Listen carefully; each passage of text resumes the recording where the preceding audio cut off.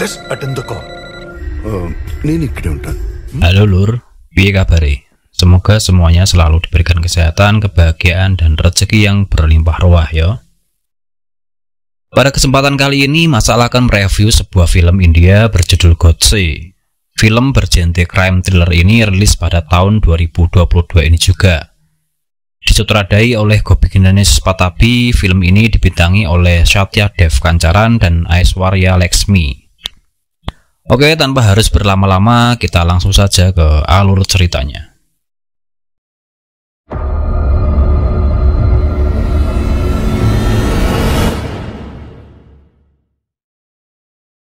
Film berawal ketika Sally, seorang negosiator kepolisian menerima kabar bahwa ada rumah seorang pengusaha mengalami perampokan. Sesampainya di sana, Sally meminta izin kepada pimpinannya untuk masuk ke rumah itu dan bernegosiasi dengan perampok tersebut.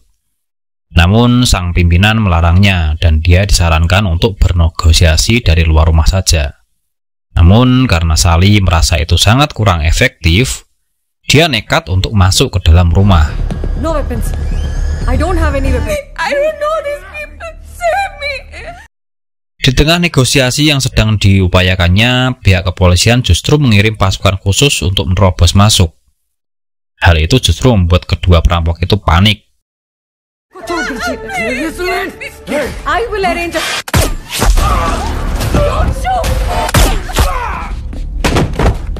Melihat satu rekannya ditembak oleh polisi, perampok satu lagi yang sedang menyandera seorang perempuan yang sedang hamil itu pun panik dan membunuhnya.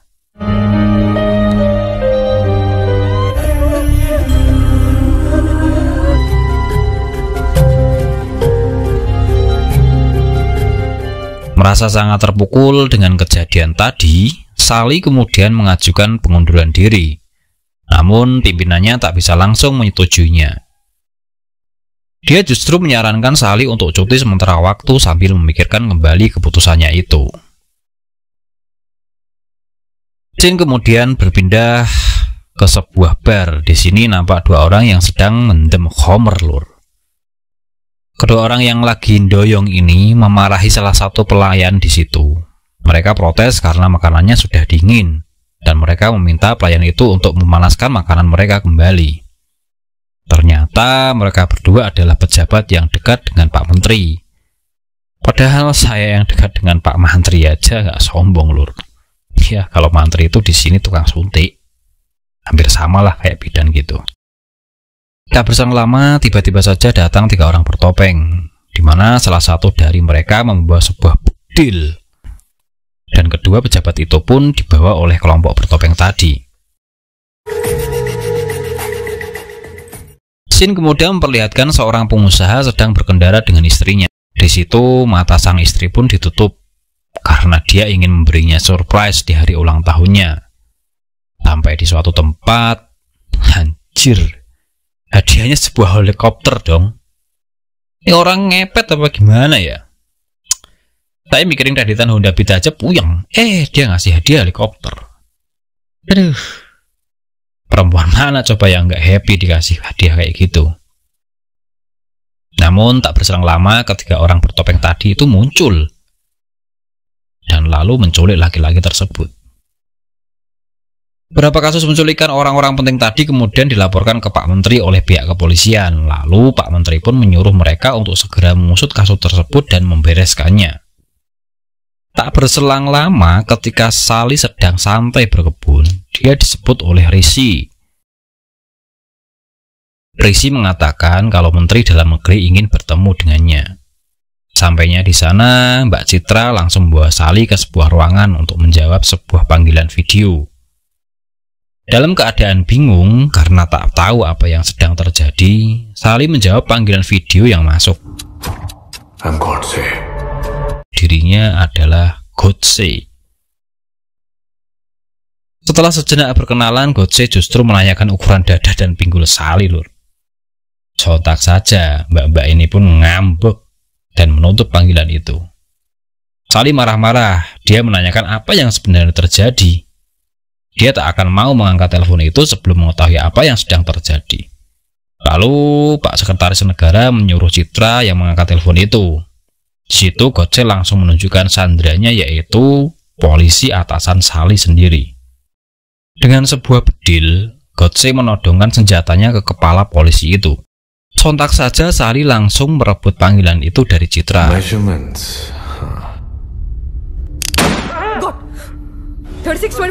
Akhirnya Sali memberitahu Gotse ukuran yang sebelumnya dia tanyakan tadi.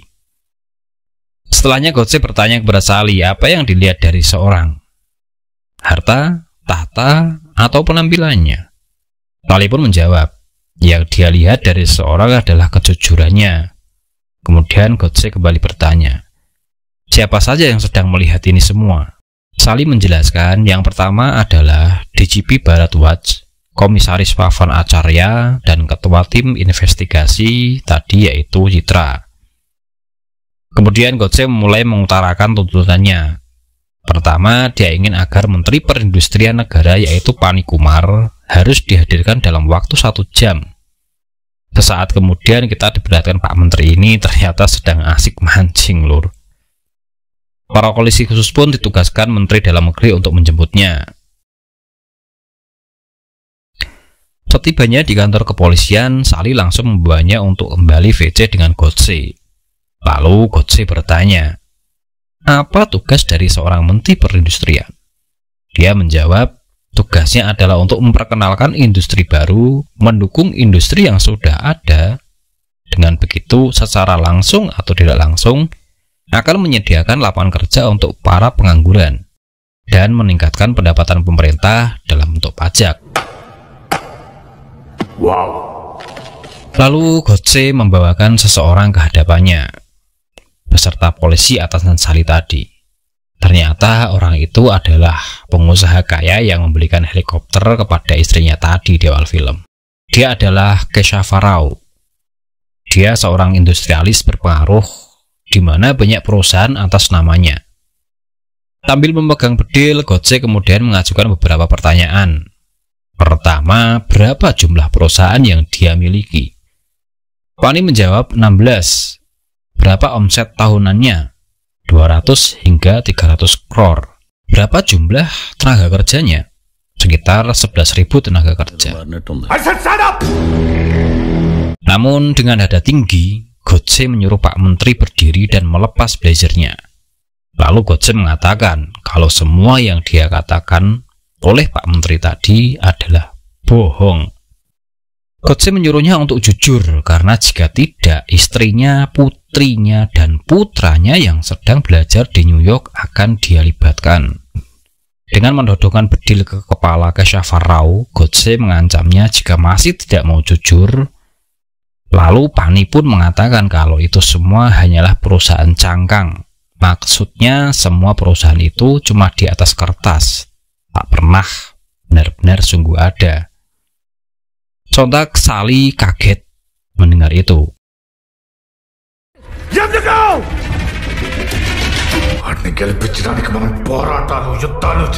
Dan keadaan justru menjadi panik. Gotse yang di puncak amarahnya lalu menembak SP polisi tadi saat itu juga. Lalu menutup Sali yang sudah muak dengan itu pun menemui sekretaris negara dan kepala polisi untuk menanyakan apa yang sebenarnya terjadi.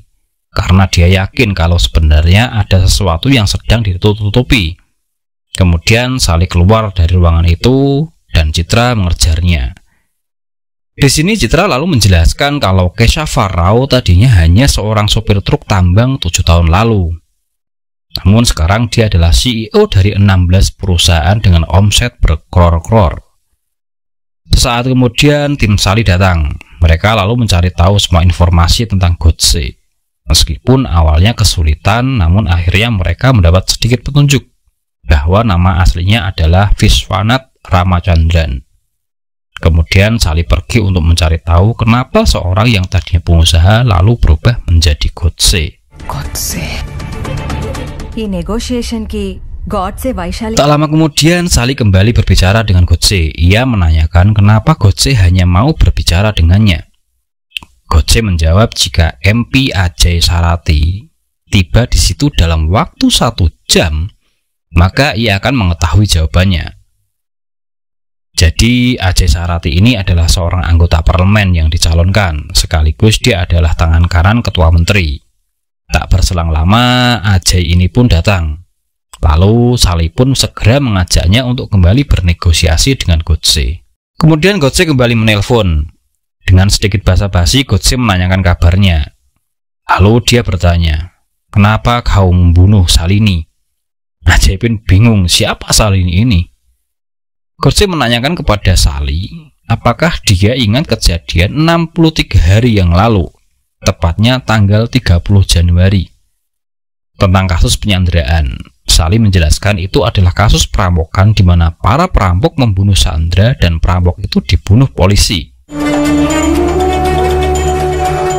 Namun tiba-tiba Godse menunjukkan seseorang kepada mereka dan tak disangka orang tersebut adalah salah satu perampok yang pada kejadian di awal.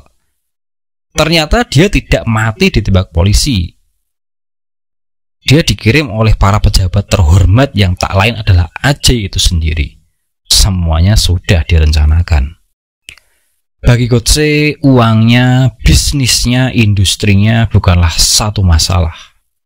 Dia datang ke sini dengan niat baik tapi tak hanya membunuh istrinya yang sedang hamil, Aceh sudah memimpin sebuah pembantaian. Jika Sali ingin tahu semuanya, Godse meminta dalam waktu satu jam lagi, maka kepala Nijam News Media dan pensiunan Hakim Agung beserta kertas-kertas file pencalonan para elit politik dalam pemilihan terakhir, juga ketua komisi pemilihan harus dihadirkan dan perampok tadi langsung dibunuh oleh Godse. Tak lama berselang, orang yang diminta Goce pun datang. Sejenak mereka dijelaskan asal-usul Goce yang seorang pebisnis sukses. Ia ditemui oleh Menteri Perindustrian, Menteri Keuangan, dan Aceh Sarati. Mereka bermaksud untuk mengundang Goce agar berinvestasi di negaranya. Kemudian Goce menelpon lagi. Salih pun lalu membawa kedua orang yang diminta tadi untuk menemuinya.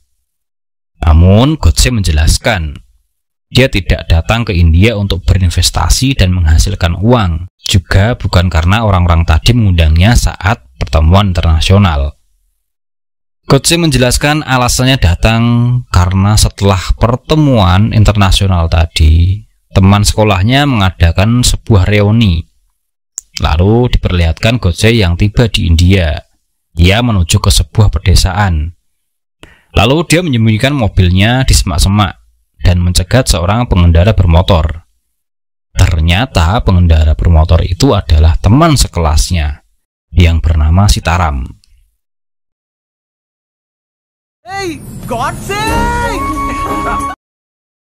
Lalu mereka pun berboncengan menuju ke SMA Saraswati Puram. Sesampainya di sana, Godse pun bertemu dengan teman-temannya yang lain. Mereka tampak sangat bahagia menyambut kedatangan Gotse. Sejenak ia mengingat kenangannya masa lalu saat masih bersekolah di tempat itu.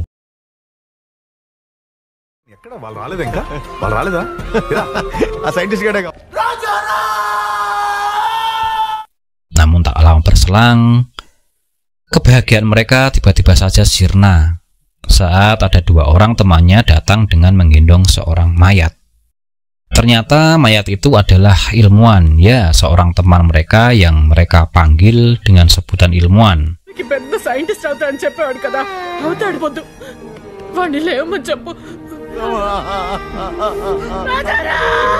Lalu Ragava menjelaskan, saat dia pergi ke kota untuk berbelanja keperluan reuni mereka, di sana Ragava menelpon si ilmuwan tadi untuk bertemu.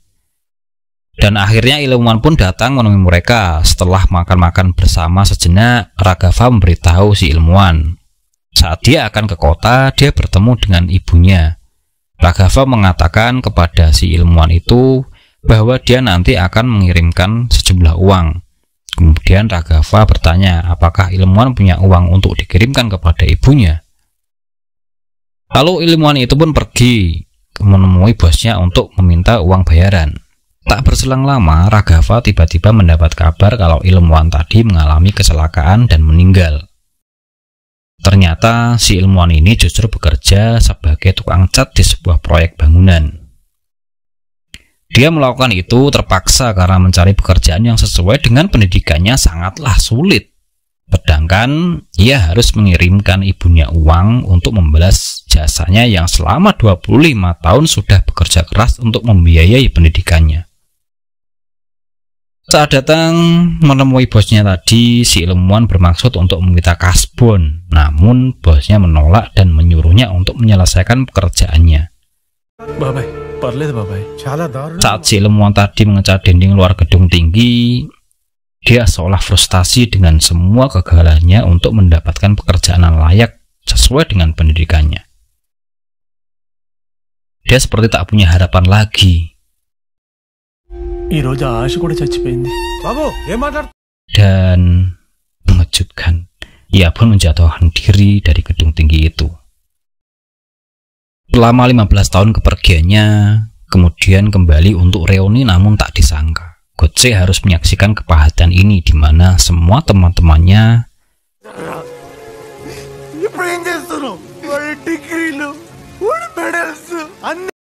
senyatanya justru sangat sulit untuk mendapatkan pekerjaan. Apalagi pekerjaan yang sesuai dengan pendidikan mereka. Dengan hati yang sangat teriris, Gotse pun berpamitan dengan teman-temannya. Namun, ia akan kembali untuk mereka semua. Sekembalinya ke London, Gotse menceritakan kegundahan hatinya kepada istri tercintanya.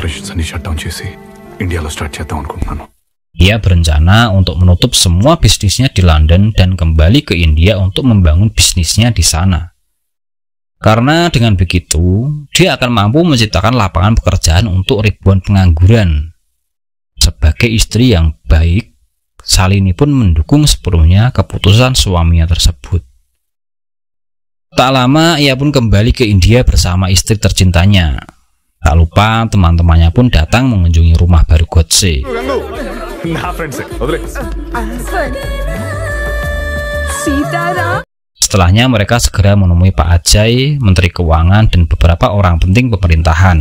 Akhirnya Gotse akan menginvestasikan semua uangnya di India dan menciptakan ribuan lapangan pekerjaan baru. Peletakan batu pertama proyek industrinya pun dimulai dan kehormatan itu diserahkan kepada ibu dari si ilmuwan tadi. Untuk beberapa waktu kemudian, proses pembangunan itu berjalan dengan lancar. Sampai pada satu ketika, Pak Aceh dan Menteri Keuangan kembali menemuinya dan mengajukan proposal untuk melakukan ekspansi. Setelahnya, Jai menelpon Gotse mengenai investasi senilai 100 crore untuk pembangunan pabrik semen. Gotse pun menyuruh Ragava untuk mengecek pabrik semen tersebut. Namun setibanya di lokasi pabrik yang dimaksud, di sana mereka justru tidak menemukan pabrik apa pun selain sebuah tanah kosong dan sebuah bangunan seperti gudang kosong yang sudah tidak terpakai.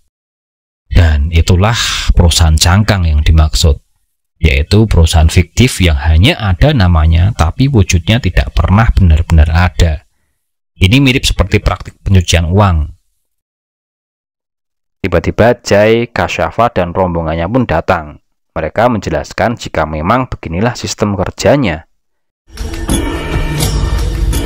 ఈ ఓ వెయ్యి నుంచి పన్నెండు వందల మందికి టెన్షన్ గా ఫస్ట్ తారీఖు జీతం ఇదేమో first unit Setelah mengetahui itu, Gotse pun menemui Pak Ajay di kantornya. Ia bersikeras menolak sistem tersebut karena baginya datang ke sini untuk menciptakan lapangan pekerjaan.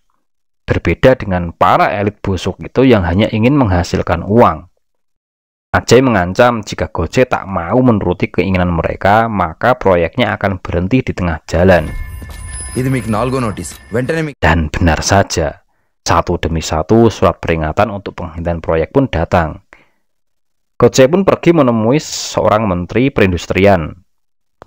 Namun alhasil si menteri itu sama sekali tak mau membantunya. Kita bayangkan saja bagaimana rasanya ketika seorang dengan niat baik dan tulus justru diperlakukan seperti itu. Tak mau menyerah begitu saja, keesokan harinya Gotse lalu menemui Perdana Menteri. Di sana Gotse menceritakan bahwa tujuannya dihalangi oleh beberapa pejabat yang korup. చెప్పారు కదా మీరు వెళ్ళండి నేను చూసుకుంటా Pak Perdana Menteri ini justru marah-marah kepada sekretaris negara. Ia beranggapan jika dibiarkan maka Gojek ini nantinya justru akan membahayakan mereka. Tiba-tiba proyek pembangunan Gojek tadi dibakar oleh sekelompok orang dan Gojek yang tiba di sana tanpa tahu apa-apa dikejar oleh sekelompok massa tadi. Sontak teman-teman Gojek mengajaknya untuk kabur dari tempat itu. Gojek yang tidak terima mengajak teman-temannya untuk melawan. కోసం నీ కోసం మీకోసం మాత్రమే యూక నుంచి అన్ని మూసుకొని ఇక్కడ రాలేదురా ఎన్నికలు తలుచుకుంటే ఏం చేయగలరో చూపించారు Meskipun tidak punya kekuasaan, tapi mereka mempunyai kecerdasan teknologi. Dan mereka meretas sistem data nasional, kemudian mencuri data-data penting tentang kejahatan para koruptor tersebut. Alhasil, para pejabat korup itu pun dibuat panik sejadi-jadinya. Karena jika sampai data-data penting itu bocor, maka habislah mereka semua. Dan setelah Goce dan teman-temannya berhasil mencuri seluruh bukti kejahatan para koruptor tadi, mereka bergegas untuk pergi menemui gubernur. Setelah itu, kemudian mereka pergi dengan membawa data tadi untuk melaporkannya ke gubernur. Namun, di tengah jalan, tiba-tiba mobil mereka ditabrak dan jatuh ke sebuah jurang. Goce sendiri ternyata masih beruntung. Dia tersangkut sebuah ranting pohon dan masih selamat. Sedangkan semua temannya yang lain harus gugur dalam insiden itu. Tak terkecuali Ragava, teman terbaiknya. Belum cukup kehilangan teman-teman baiknya sesampainya di rumah. Gojek pun harus kembali menelan kepahitan setelah ternyata dalam sebuah insiden perampokan. Istrinya yang sedang hamil besar dibunuh oleh para perampok yang dikepung polisi. Dan seperti pepatah Joker, Orang jahat akhirnya adalah orang baik yang tersakiti.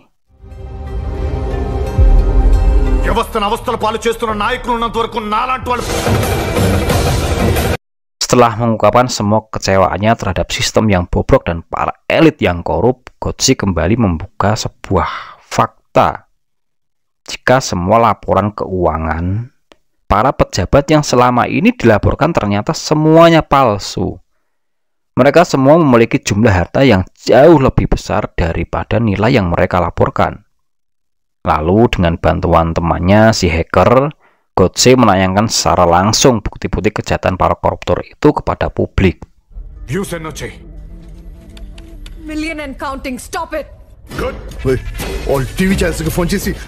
Operasi penyergapan yang dilakukan oleh polisi khusus pun menemukan sebuah gedung di sebuah pulau yang berada di Filipina. Dan tanpa pikir panjang, polisi itu meledakkan gedung tersebut yang diyakini sebagai markas Gotse. Namun tak disangka gedung kalau itu cuma pengalian telah saja. melakukan pesanan makanan lewat online di tengah kota. Lalu kembali para polisi itu segera menyergap lokasi tersebut. Dan benar saja, para tahanan yang diculik itu semuanya berada di sana. Tapi Gotse ini memang cerdas. Ternyata itu juga hanya sebuah jebakan. Dan sejurus kemudian tempat itu pun meledak bersama para sandera di dalamnya. Tak berselang lama, Gotse mendatangi tempat persembunyian Perdana Menteri. Setelah melumpuhkan beberapa penjaga, ia pun masuk dan tak disangka ia memakai rompi yang telah dipenuhi dengan bom. Di sana dia bertemu dengan Perdana Menteri beserta para elit busuk anak buahnya. Sedikit berceramah, Gotse mengatakan semua niat busuk yang mereka lakukan atas nama pelayanan hanyalah kedok untuk menumpuk kekayaan dan menguras uang negara. Begitu kecewanya Gotse dengan para koruptor ini yang seharusnya mereka melayani dan mensejahterakan rakyat, namun justru dengan jabatan dan kekuasaan mereka begitu serakah dan menguras serta mengebiri hak-hak rakyat. Saya jadi teringat dengan kata-kata seorang Canakya. Beliau adalah seorang penasihat pertama Maharaja Maurya sekaligus pelopor ilmu politik dan ekonomi India. Beliau berkata, di negara mana Perdana Menteri tinggal di gubuk kecil, di sana penduduknya tinggal di rumah-rumah bagus. Dan di negara mana Perdana Menteri tinggal di rumah mewah, di sana para penduduknya tinggal di rumah-rumah sederhana. Dan dengan berteriak, Gotse pun meledakkan bom itu. Di akhir film kita diperlihatkan Sali dengan bukti data kejahatan para koruptor tadi kemudian melaporkannya ke Pak Gubernur. Akankah Pak Gubernur mampu memperbaiki sistem politik yang bobrok itu? Mungkin ini juga sebuah pertanyaan besar untuk negara kita tercinta ini. Pesan terakhir yang bisa saya sampaikan dari film ini adalah negeri ini tidak akan hancur karena bencana, tapi karena kebejatan moral dan perilaku korupsi. Akhir kata, sekian yang bisa Mas Al sampaikan dari film ini. Terima kasih yang sudah menonton sampai akhir. Semoga kita bisa mengambil hikmahnya dan tetap menjadi pribadi yang baik apa pun yang terjadi. Sampaikan pendapat kalian di kolom komentar ya. Jangan lupa subscribe dan sampai jumpa di video selanjutnya.